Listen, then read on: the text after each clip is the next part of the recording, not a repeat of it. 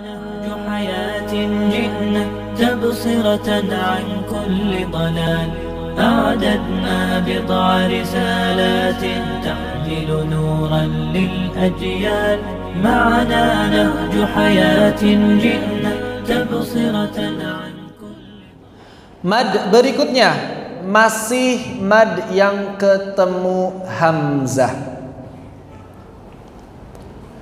Maddus silah sudah dibahas ketika kita membahas mad yang selalu dua harokat. Mad silah itu apa? Ada yang masih ingat?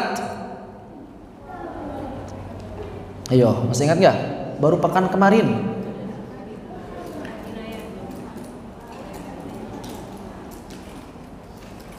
Mad yang terdapat pada berapa tempat mad silah? Tiga tempat. Yang pertama, hak kinayah atau hak domir ghaib mufrad mudzakkar. Nah, saya ulang aja sedikit. Nggak apa-apa diulanglah sedikit. Yang pertama haul kinayah, yang kedua ha ismul isyarah dan yang ketiga mimul jama'. Dalam riwayat Hafs, mimul jama' tidak dibaca mad kecuali kalau bertemu dengan domir saja. Bilit tifakul, bilit tifakil qurra. Menurut kesepakatan para ahli kiroat, kalau ketemu domir ya pasti dibaca panjang sehingga di sana nanti jadi seperti mad asli lagi karena e, rosemnya tertulis wawunya. Berarti yang kita bahas dalam riwayat Hafs cuma dua, hak kinayah dan hak ismul isyarah, ya. Di sini mereka dibaca berapa harokat? Dua harokat asalnya, sama seperti mad asli. Walaupun ada pengecualian, ada yang dibaca koser. Nah, dibaca koser, ingat. Ada yang dibaca koser. Maksudnya apa berarti? Kalau kita berbicara di mad silah, yang dibaca koser itu artinya dibaca satu harokat. Di mana? Di Az-Zumar ayat ketujuh. Wa in tashkuru yardahu lakum. Ini artinya dibaca kosor. Mad silah yang dibaca kosor. Atau lebih tepatnya silah yang dibaca kosor. Silah yang tidak dibaca mad. Silah yang dibaca kosor. Menurut aturan kan diapit dua harokat. Aturannya dibaca mad, tapi dia tidak. Ya, dia tidak. Kemudian ada juga yang dibaca biliskan dengan sukun. Sudah ada contohnya pekan yang lalu kita sampaikan alqih contohnya. Kemudian apa? Arjih contohnya, ya kan? Ini dibaca iskan.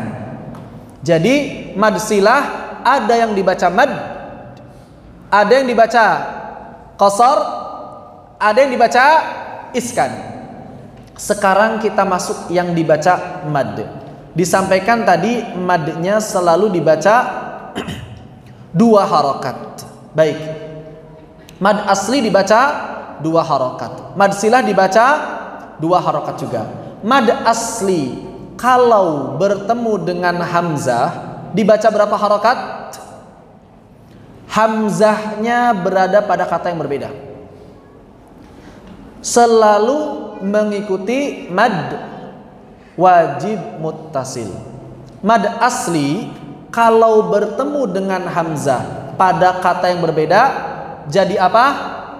Mad jaiz munfasil. Maka mad silah juga di dalam Al-Qur'an sangat mungkin bertemu dengan hamzah. Ketika ada mad silah yang dua harokat bertemu dengan hamzah, maka berarti keadaannya mirip dengan mad jaiz munfasil. Cuma karena dia asalnya silah enggak disebut mad silah jaiz munfasil enggak. Istilahnya ada istilah tersendiri. Apa namanya? Mad silah kubro atau mad silah tawilah. Mad silah besar atau mad silah yang panjang. Hukumnya apa? Hukumnya jaiz. Sama dengan mad munfasil. Hukumnya jaiz sama dengan mad munfasil. Dalilnya apa? Wajaizun idza atamun fasila. Ya kan? Sama kan? Kalau madnya ketemu dengan hamzah pada kata berbeda. Ini sama, mad sila bertemu dengan hamzah pada kata berbeda. Maka satu dalil buat dua jenis mad. Buat mad munfasil dan mad sila tawilah. Berarti kesimpulannya mad silah ini terbagi menjadi dua. Terbagi menjadi dua. Ada yang namanya mad silah sugro atau dalam istilah yang lain mad silah qasirah dan ada mad silah kubro dalam istilah yang lain madsilah tawilah. Madsilah sugra mulhaq mad tabi'i. Min mulhaqati mad tabi'i. Selalu mengikuti hukumnya mad tabi'i. Adapun madsilah kubra selalu mengikuti mad jaiz munfasil. Karena sama-sama munfasil dari sisi bertemu dengan hamzahnya. Cara baca munfasil dalam riwayat Hafzalul Syatibiyah mengikuti muttasil. Maka berarti mad wajib muttasil mad jaiz munfasil dan mad silah tawilah harus selalu dibaca sama. Empat empat empat atau lima lima lima. Gimana kalau kita baca mad jaiz munfasilnya dua? Maka mad silah tawilah dua Mad jaiz munfasil tiga, mad silah tawilah tiga. Jadi mad silah tawilah hukum dan cara bacanya selalu mengikuti mad munfasil. Kenapa? Disebabkan kesamaan pertemuan dengan hamzah pada kata yang berbeda.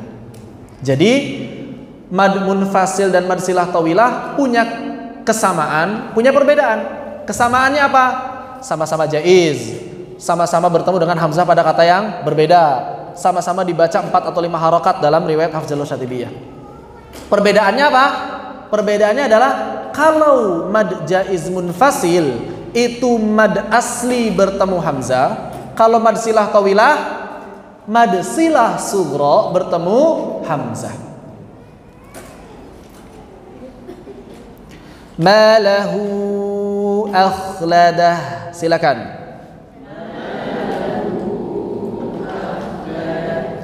Tanda bacanya sudah disinggung kemarin. Dalam dalam uh, mushaf Madinah ada waw dan ya kecil. Karena dia dibaca panjang maka ditambah tanda mad. Di mana tanda madnya? Di atas waw dan ya kecilnya. Jelas? Kalau kurang jelas kita perbesar. Kurang lebih begitu. Kurang lebih seperti itu. Ya untuk yang ya-nya nah begitu. Ya Adapun dalam mushaf standar Kemenag maka tanda bacanya bukan waw atau ya kecil melainkan kasrah berdiri dan domah terbalik. Tapi sama-sama ada tanda madnya juga. Di mananya? Di atas haknya. Malahu akhlada ila ta'amihi anna seperti itu. Ini namanya mad silah tawilah. Bagaimana kalau sukun? Baik mad silah qasirah atau mad silah tawilah ketika dibaca waqaf maka selalu sukun. Malah ila ta'amih begitu ada yang ingin ditanyakan mad silah sughra dan kubra.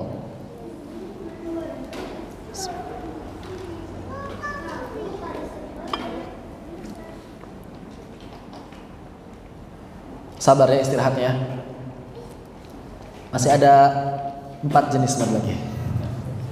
Eh, empat atau berapa ini? Pendek-pendek. Sebetulnya kan masalah mad sudah pada tahu ya. Cuma saya detailkan sedikit aja. Begitu. Baik. Berarti sampai di sini mad far'i yang ketemu hamzah sudah habis. Udah nggak ada lagi mad far'i yang ketemu hamzah. Maka sekarang kita nyebrang. Mau lihat mad far'i yang ketemu sukun.